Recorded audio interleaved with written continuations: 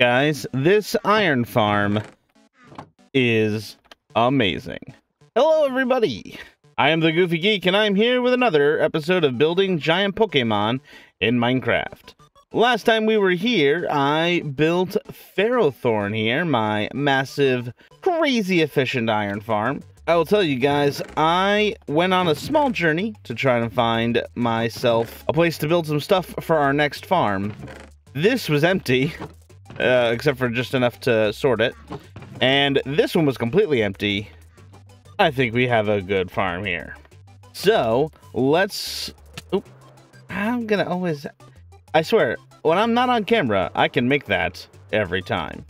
But yes, when last we were on, like I said, we were building Ferrothorn here. But the problem with building Ferrothorn is that I ran out of dye very quickly. It's one of the reasons his arms are made of moss. Now, to get all that light gray dye, what I did was I went hunting for squid. And why was I hunting for squid?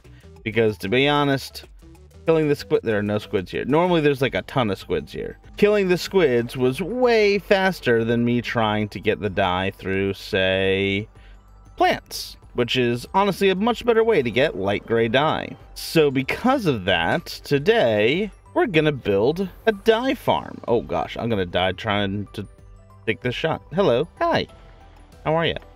So, I have scoped out an area over here. Originally, I was going to build it like a million miles away at a flower farm that I found. Oh, I should sleep. That's better. A, not flower farm, a flower forest? All the way that way. About, nope, actually it's that way, about 2,000 blocks. And that's really far away, considering how often I'm going to need to use it. But I want to make sure, you know, ow. I'll make sure I put it in a good area. So, I think this little alcove right here will make a great spot for a flower farm. Now, I've done a little bit of experimenting here, as you can see. Uh, it was my understanding that if you, like, you broke a flower and then hit that same spot with bone meal enough times to get the same flower, you get the same one every time, which, see, I broke a blue one, and now I have a red one there. So back in 1.18 and 1.17, if you broke a flower and hit it with the bone meal enough times to get a new flower, you'd get the same flower. Clearly, things have changed since then, as uh, you just saw it yourself.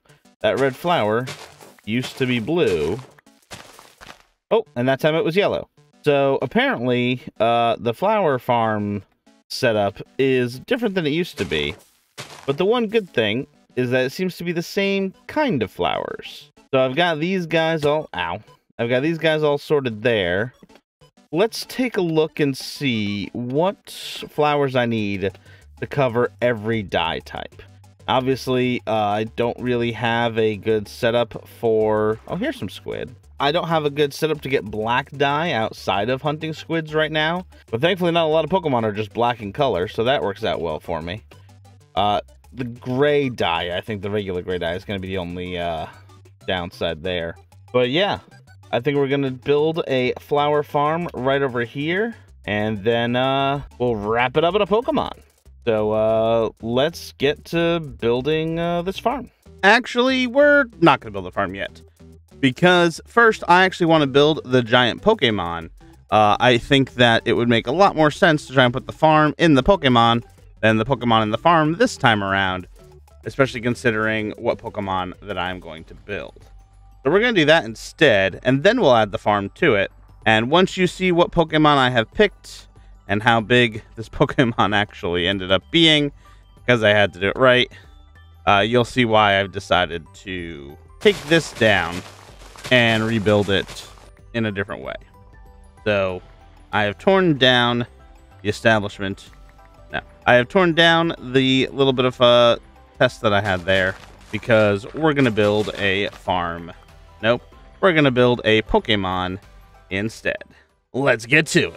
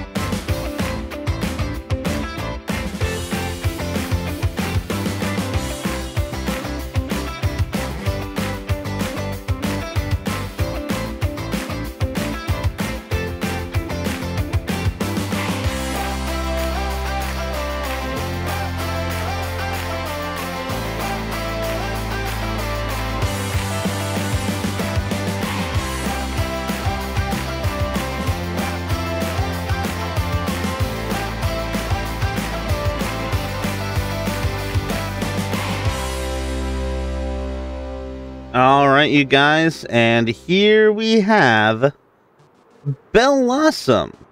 I think that Blossom is going to make a great... Oh, about to crash. I think she's going to make a great flower farm.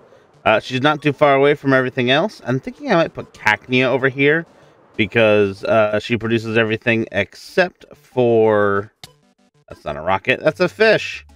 Uh, she produces everything except for a cactus. And obviously wither roses because wither roses would mean she would be exploding right now. But, uh, and then the cactus, I don't have enough space in there for a full cactus farm. Uh, speaking of space in there, let me show you. As you can see, there is plenty of space inside here for uh, the dyes. Yes, he's watching us. It's not at all creepy. But yeah, no, I think if I put uh, maybe a unit over here for like the main flower farm and then a little side unit to have like the two high flowers, I think we'll be able to get just about every color out of here. Uh, in fact, actually, let's take a look at what colors we need specifically. So these are all the different ways to make the different dyes. As you can see, red requires the poppy, although it can also take the rose bush. I do have some of those. Orange requires a red and a yellow. Yellow is this one. Blue dye, obviously the cactus, like I said. I think this one's pink and this one's magenta. If not, I've got them backwards, but that's fine. But yeah, I think that all of these flowers here can be harvested by the farm design I was showing you guys before.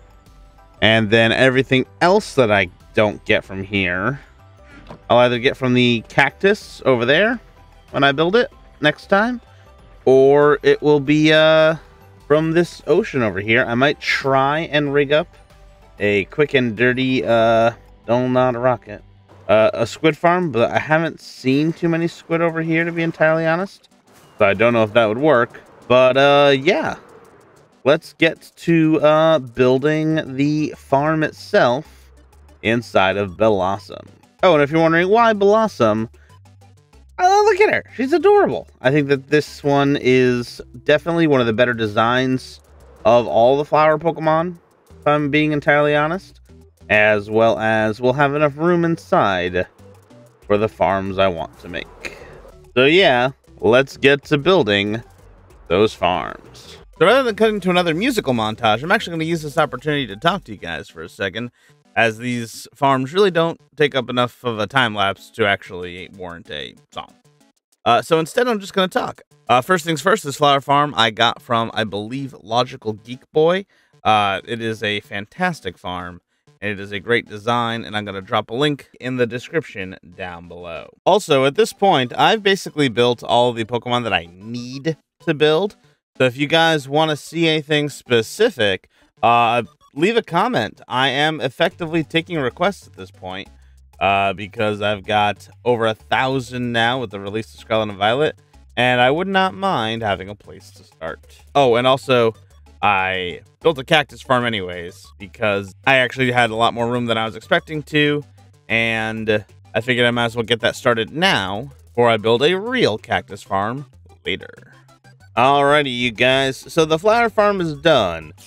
But uh, apparently I forgot to hit record for my next thing as I also built a cactus farm. as you can see, a little big. Uh, but it's it's not the most efficient thing in the world. Unfortunately, it's it's very tall, but not very uh, wide until you get really up into the head of the Pokemon. Uh, I AFK'd last night to get all this cactus, so it is working. But yes, we do have our flower farm. It is fully functional. And we also have all the different dyes here. And uh, let's go over each one of them. So for the red dye, I do have access to this guy here, which makes me the red flowers that I need for that. For the yellow dye, actually for a whole bunch of the dyes, let's run this real quick. It's very loud unless I do this.